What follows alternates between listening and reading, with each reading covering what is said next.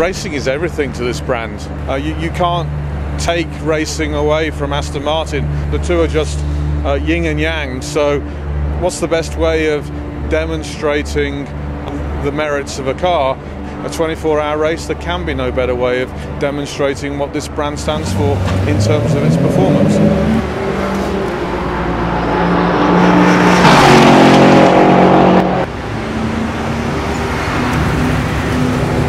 GT4 is, is really that our road car put onto the circuit. It's a standard road engine that goes into the car. Feels fabulous. It's very, very easy to drive. It's actually quite relaxing to drive as a car as well. Um, and we've learnt a lot through testing, through practice. We're all gradually getting a little bit faster, but the, the main thing is it's a 24 hour race, so it's an endurance race. It's about fuel economy, driving the car as it's meant to be driven, and, and enjoying ourselves really. Understanding the potential and the capabilities of, of our cars is so important for me as a designer because this is what they are essentially built to do. Yes, they are road cars that turn into race cars, but understanding the feeling, the balance, the proportion, that's got to all be reflected in the design language. coming from racing in Renault and Formula 3, our races are max 30 minutes. So uh, to come in a 24 hour race is, is going to be very exciting. And so far, getting used to driving completely new machinery of, of the Aston, much bigger car, much heavier. I've been really enjoying it so far, and we, have been doing pretty well, I think.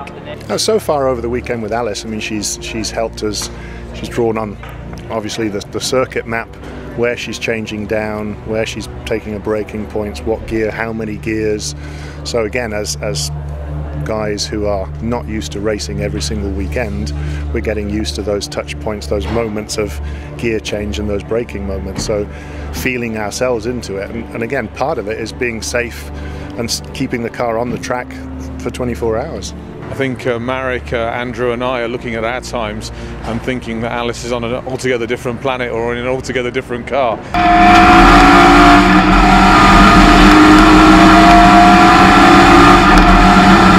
I'm learning my craft, um, learning what the car's capable of, learning the track, and the team camaraderie is, uh, is, is fabulous.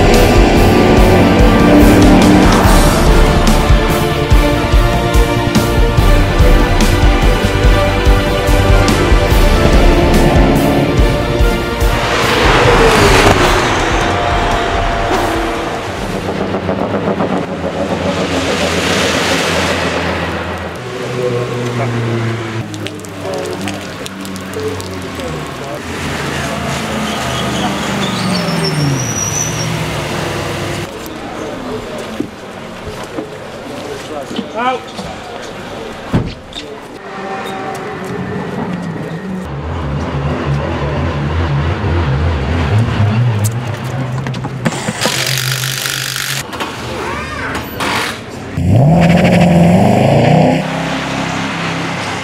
Uh, like nothing I've ever done before.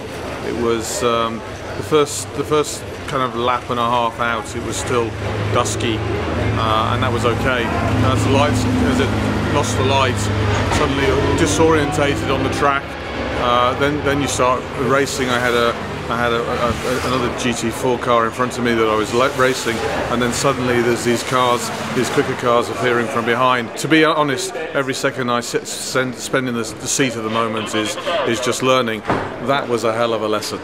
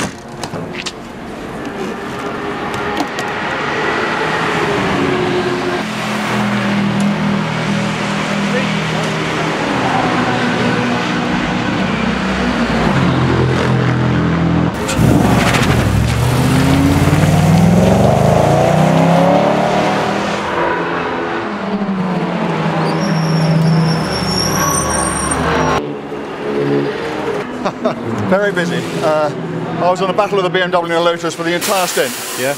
Yeah. Um, good fun. They were driving very nicely. It was just what this should be about.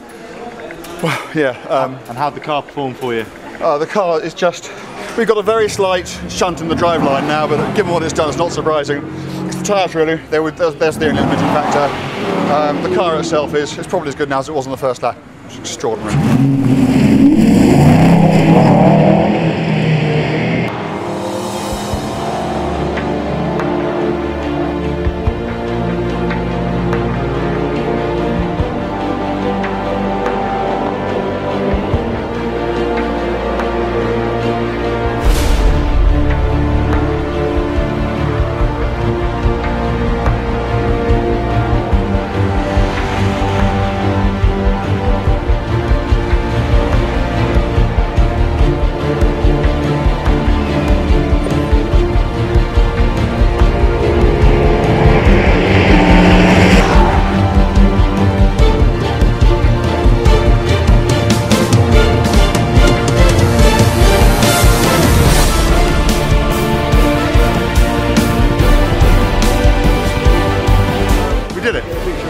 Overall, unbelievable. Um, 24 hours ago, never imagined this would be possible. Um, did the last about to come down the pit lane. We're all very tired, probably all a bit emotional too, but it's just been the best, best weekend.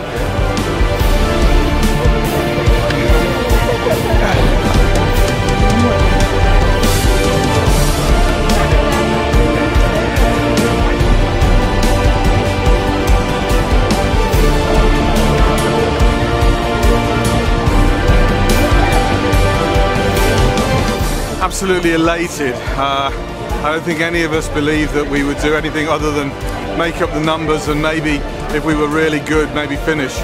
But to uh, come in fifth is amazing.